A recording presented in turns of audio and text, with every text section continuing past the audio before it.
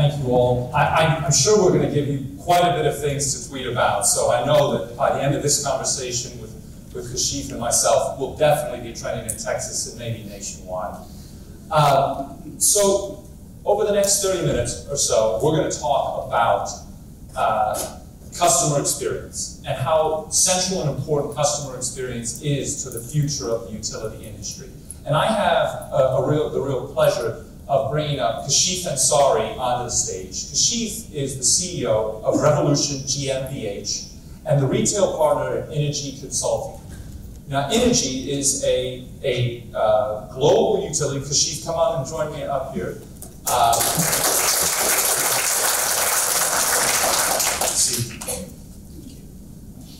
so Kashif is responsible for leading Innogy's new digital attacker platform. It's customer-centric, data-driven, and digital-first, aiming to provide a new proposition to energy customers around Europe and North America. Kashif's background as the retail partner at Innogy Consulting made him accountable for the delivery of both B2C and B2B strategies for the 23 million customers Innogy serves with electricity and gas. So Kashif, welcome over to Texas and welcome to the United States. It's great to have you here. It's a pleasure to be here. Uh, so for those in the audience that didn't get to see the, the wonderful uh, workshop that Innogy put on with Graham and Mac uh, earlier talking about digital customer experience, can you tell us a little bit about Innogy and Innogy Consulting? Sure. Um, maybe first, I was born and raised in Germany, so my language skills, um, my, my English is not my mother tongue. So if I uh, say anything that doesn't make sense to you, then blame it on my language skills. If it makes sense to you, then of course it's intended. Um, Innogy is uh, one of the biggest utilities in Europe, basically, based in Germany. Um, do roughly $50 billion of revenue per year, have 40,000 employees across 11 countries. We are serving 23 million customers uh, with gas and electricity, and we are um, also the third largest offshore wind developer uh, in the world.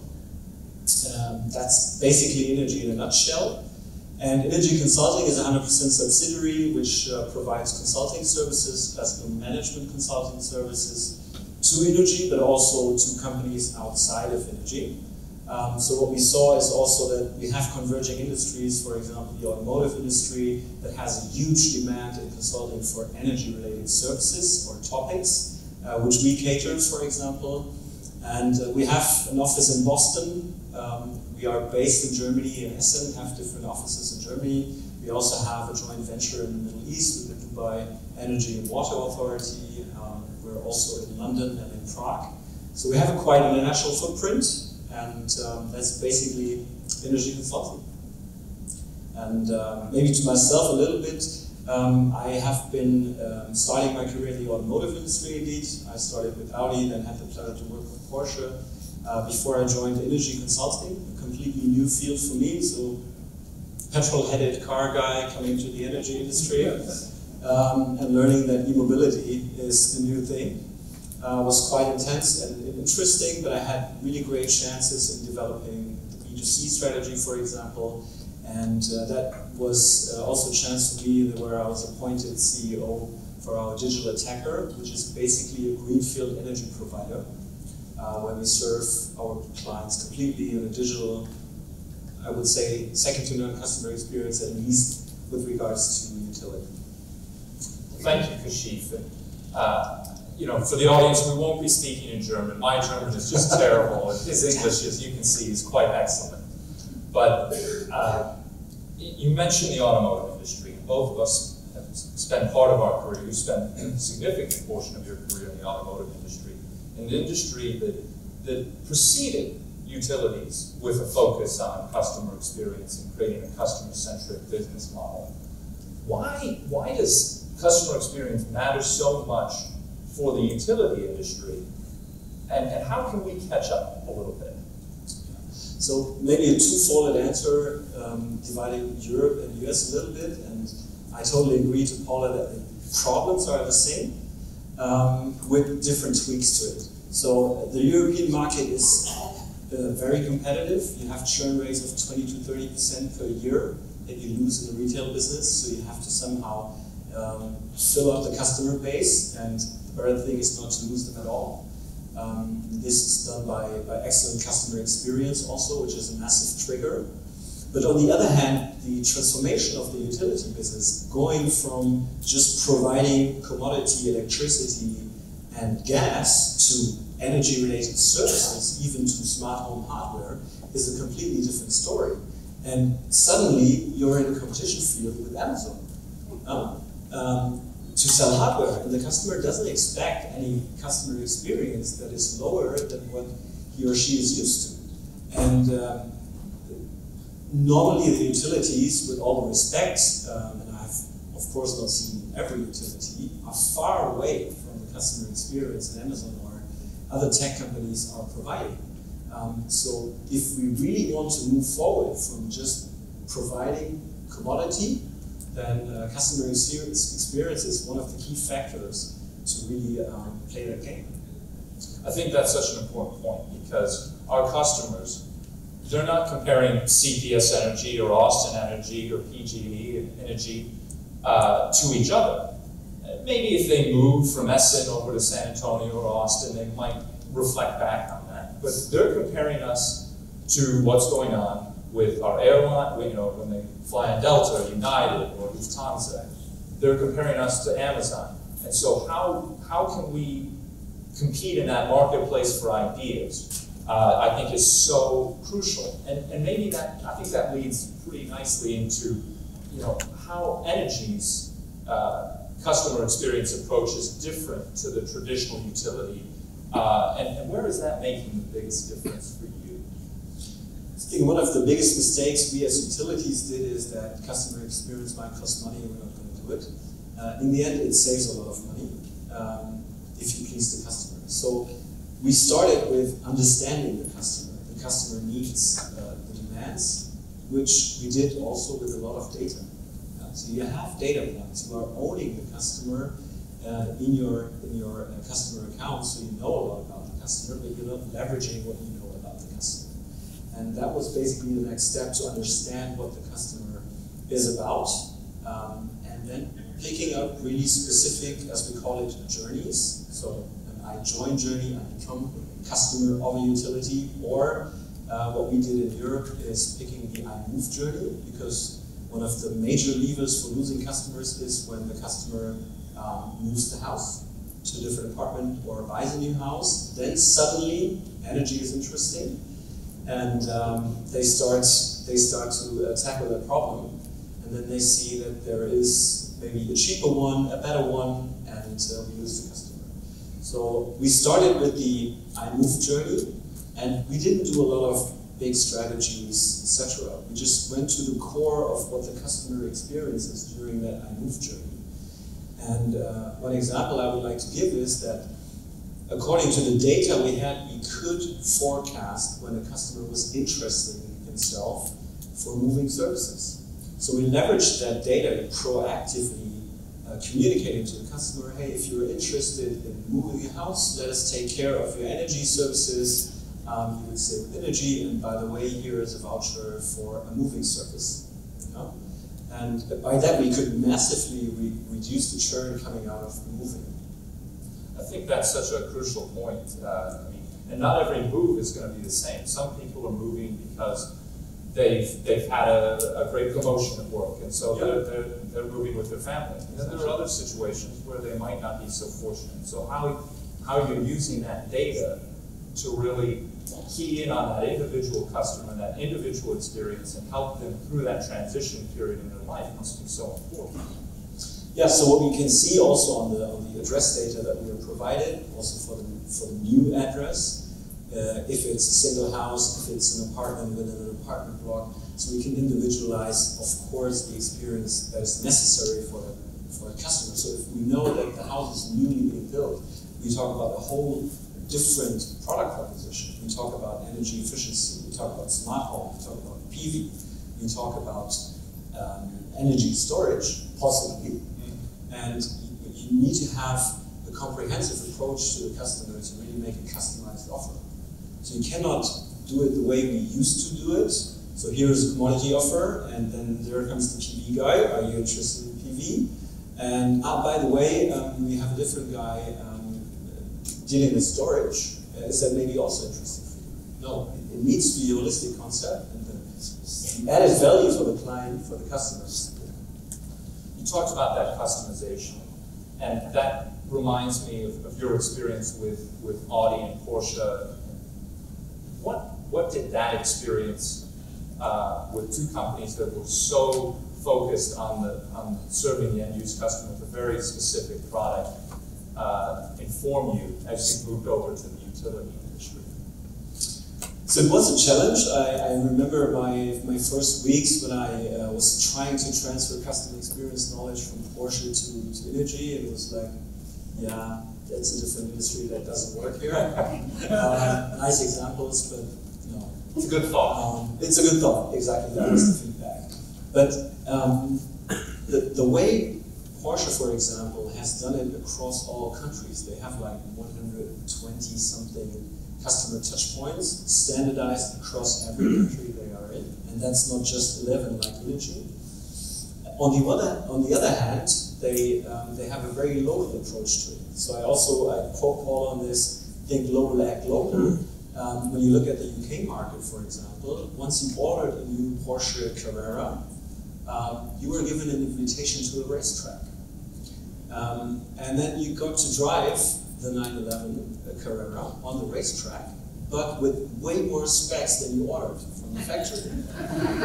so the, the customers were sitting there, they were of course happy that they were on the racetrack, and they were, what is that feature actually? Did I order that? No, you didn't. And uh, basically, they set off the cost for the event um, more than uh, three times in additional revenue that they sold to the client because the, the, the customer could experience that the additional features might make sense or make fun or are useless but nice to have. And um, that, that's what they did. And the approach of what, what the customer is all about, leveraging the data so what, what order did the customer place? Um, how can I increase my attention for the customer? What does he like? And combining this to a proposition that in the end uh, creates a bottom line impact. That was amazing. And this is what we basically also um, did at. That, that opportunity to, you know, for lack of a better phrase, cross-sell, upsell, yeah. kind of leads me to this next thought uh, about the electrification movement and the electrification of, of mobility. Uh, this has a really analyst, Zpryme Research, we've done a lot of work on this. We, we look at the potential impact on the grid, on utilities for uh, increased load, increased revenue.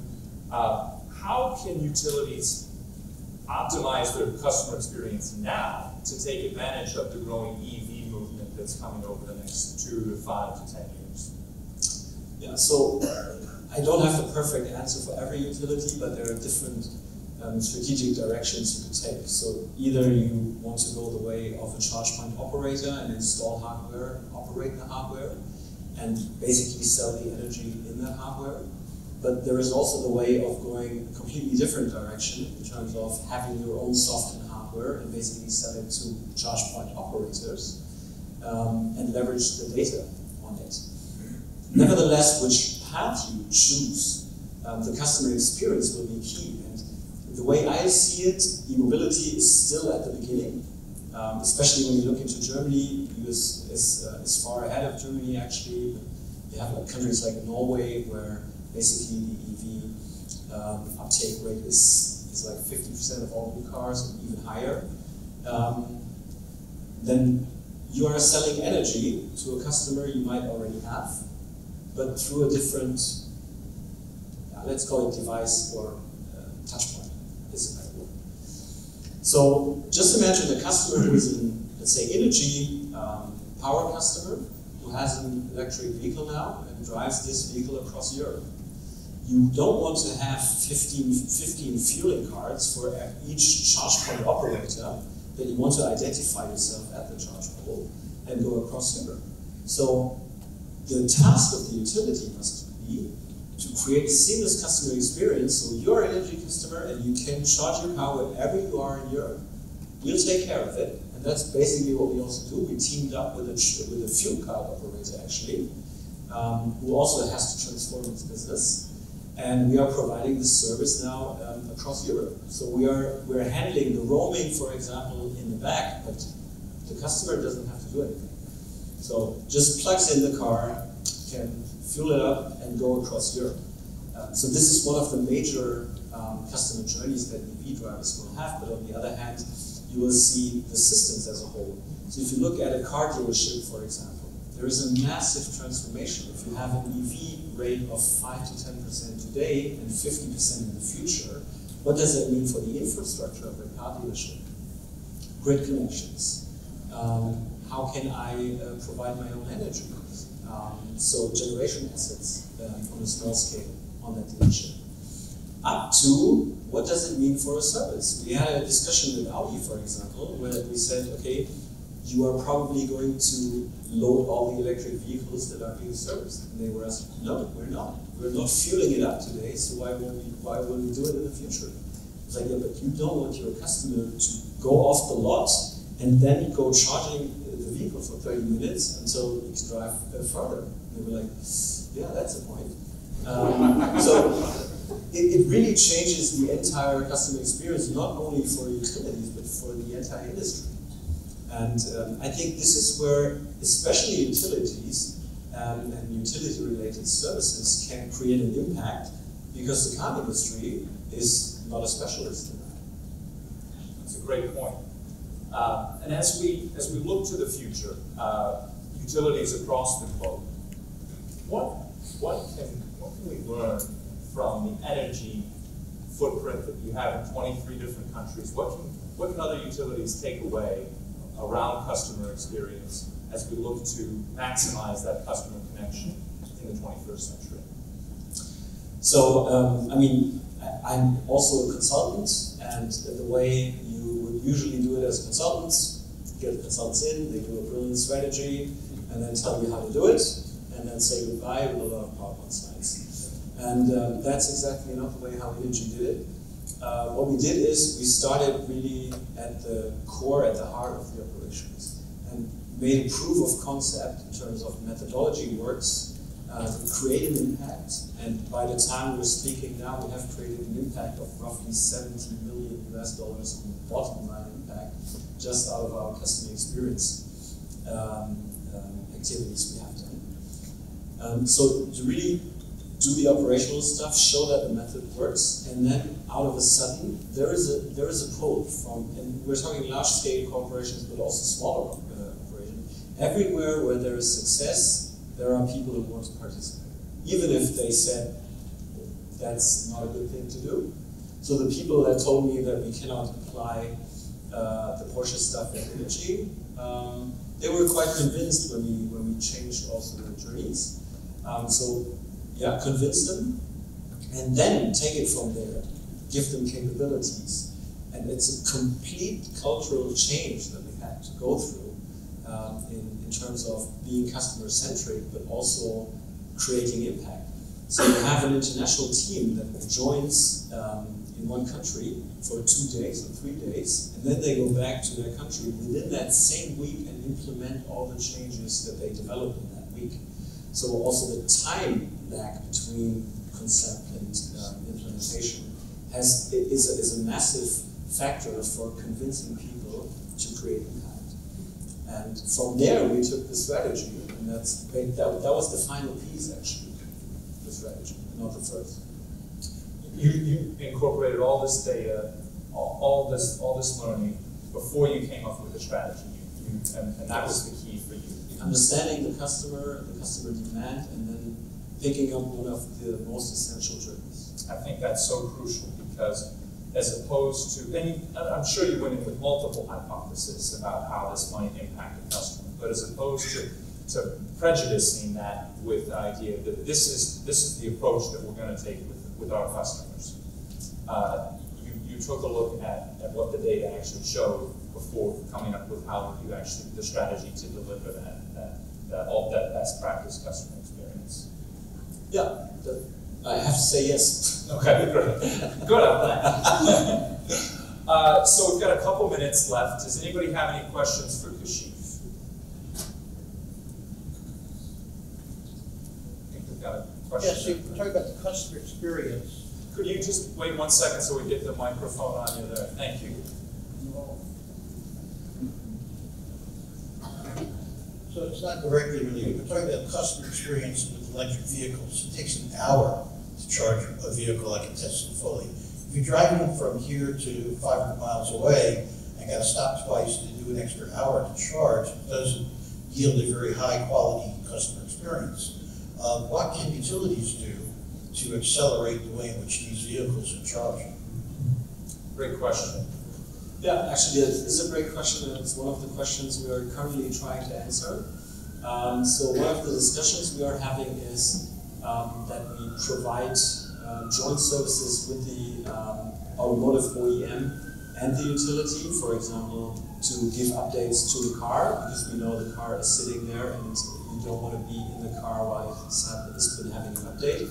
But what we also do, for example, is we create um, mobility hubs where the, the time of charging can be used for something else. So we will, will we are trying to build uh, mobility hubs where there's a laundry, there's a service. You can have also the, the last mile um, um, transportation bigger cities, bigger areas. Um, so basically, leverage the time with the customer, exactly that one hour, or if you come to high performance charging, 30 minutes is, is spent well. Or you get a voucher even for the next restaurant that is nearby the charging uh, pole, actually.